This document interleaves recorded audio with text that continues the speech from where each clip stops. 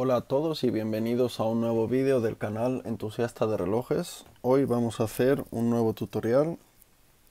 Aquí me ha pasado en el reloj Wenger que nos hemos quedado sin pila. Esto es muy habitual que justo se produzca más o menos antes del cambio de fecha. Ahí veis que sería como medianoche, estaba intentando de cambiar la fecha sería como el momento ya que, la batería ya no tendría más tensión para, para, mover el movimiento, ahí requiere algo más de esfuerzo el mecanismo para cambiar la fecha. Y una vamos a efectuar el cambio de batería. Primero vamos a ver si es una batería de las que yo tengo o la tengo que pedir y continuamos el vídeo en otro momento. Tapa roscada fácilmente el Wenger que ya os mostré en una revisión uno de los primeros relojes que analizamos aquí en el canal con, ese, con esa tapa de 6 puntos de anclaje fácil de, abrir con unas herramientas. Ahora vamos a hablar de ello. Y bueno muy importante siempre utilizar baterías de calidad de marcas reconocidas. Por supuesto yo tengo aquí esta es la única Barta que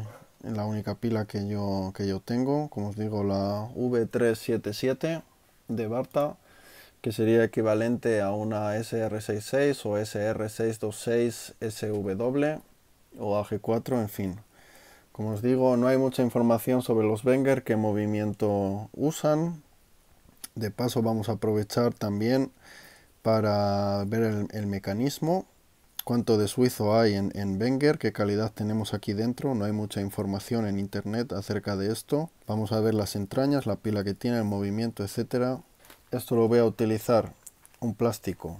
Eh, va a hacer la función al ser transparente de mirar y al, abrirlo que no rayemos la tapa. Esto es algo opcional, ya depende de lo meticulosos que, que seáis con el trabajo. Una cosa que yo recomiendo mucho, aprovecho también para decir, es tener una cajita, un bolso de herramientas básicas, Amazon, eBay, AliExpress, 10-12 euros, no vamos a necesitar mucho más las herramientas básicas para abrir tapas de relojes eh, a presión, para abrir tapas roscadas, para sujetar el reloj, para cambiar los, eh, los eslabones finales, los, los, eslabones del reloj. Es decir, lo más básico que podemos hacer en casa sin, sin complicaciones, pues eh, yo recomiendo no utilizar herramientas como alicates, destornilladores, etcétera, para cosas más brutas.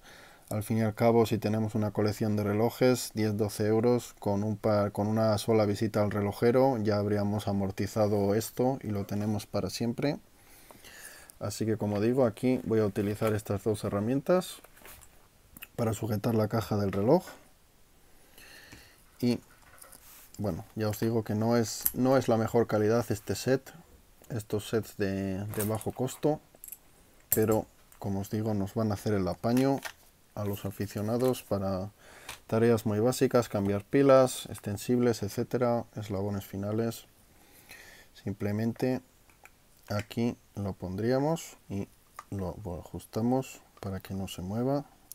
Lo siguiente, como os digo, ajustar aquí esta herramienta que podemos ajustar la distancia entre estos dos puntos y la, altura de forma que formemos un triángulo de estos de esta apertura de seis puntos que consigamos tres en los que no, se mueva. Como os digo eh, ya para ser más profesionales un plastiquito encima para no, no rayar aquí nada no cargarse nada que es muy fácil rayar la tapa trasera de acero.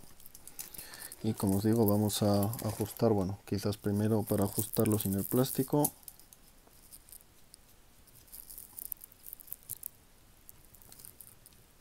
Con justo la distancia que hay entre esos puntos y punto inferior. Había que girar esto de esta forma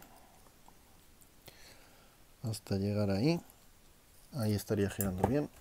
Ponemos el plástico encima y vamos a girar en sentido antihorario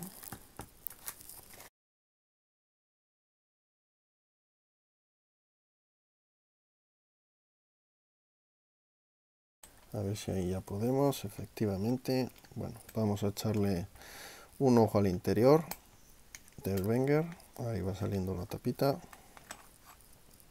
Vamos a ver con qué nos encontramos aquí. Cuánto de suizo hay en este reloj.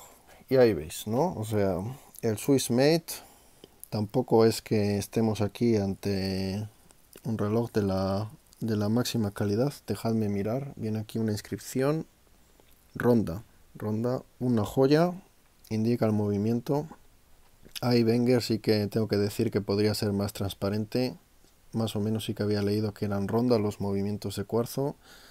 Una joya, pero ya veis que podría ser prácticamente equivalente a, a un millota. Movimiento algo grande, incluye el fechador también.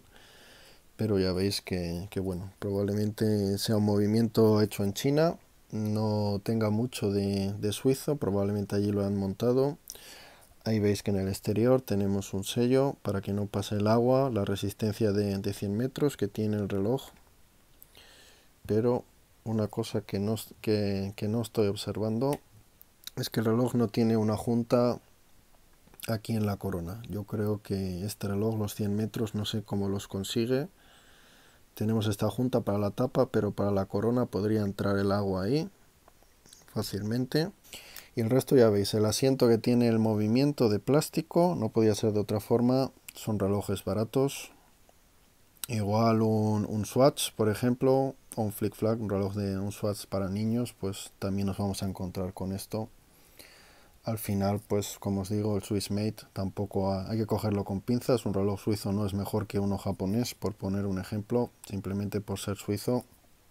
Pues ahí, está, ahí estáis viendo las calidades. Obviamente que hay movimientos de cuarzo suizos también muy superiores en calidades y automáticos también, los más habituales incluso se fabrican en distintos tipos de calidad, pero ahí veis lo que sería el movimiento de un Wenger Ronda suizo, pero probablemente uno de los niveles más básicos de entrada que hay. Y la pila sujeta con esta especie de, de plástico también para que no se mueva. Y creo que va a ser necesario de extraer ese cojín para cambiar la pila. Por ello voy a hacer uso también de estas pinzas que trae el set. Y a ver por dónde lo podemos.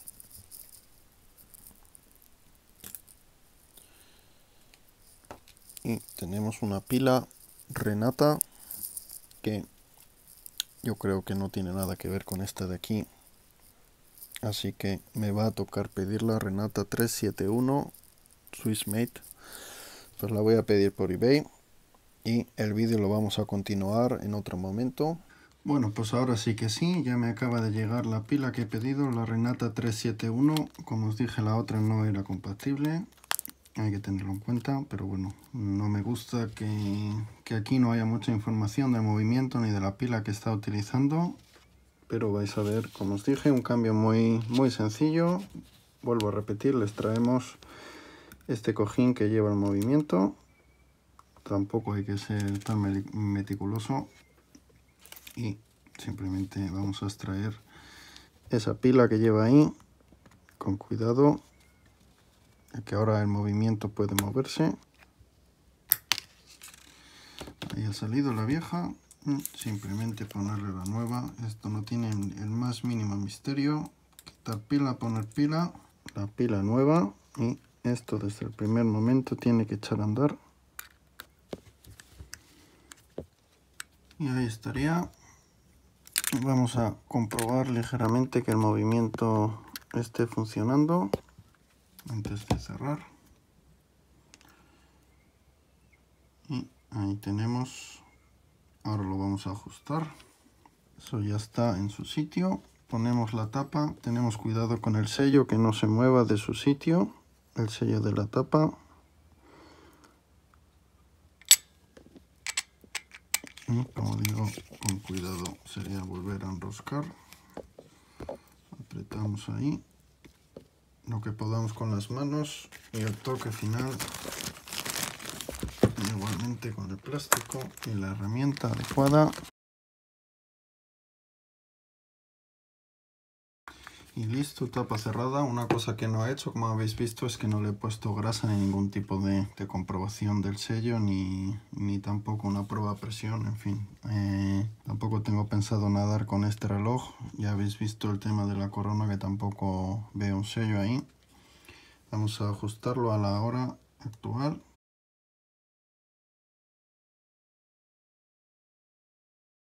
Así que nada, ahí estaría el Wenger con pila nueva para un tiempo más de uso, unos añitos. Habéis visto lo que hay dentro de este tipo de relojes suizos baratos. Podemos también debatir en los comentarios si queréis. Y como os dije también el tema de tener una caja de herramientas, aunque sea básica, para tareas de cambio de pila, ajuste de brazalete, se paga sola, con una sola visita al relojero ya casi la habríamos pagado. Así que nada amigos, gracias por ver este vídeo corto. Si os ha gustado darle like y suscribíos para más contenido como este, para que podamos seguir creciendo. Y pues si no te ha gustado se lo puedes enseñar a tu suegra. Un saludo y hasta el próximo vídeo.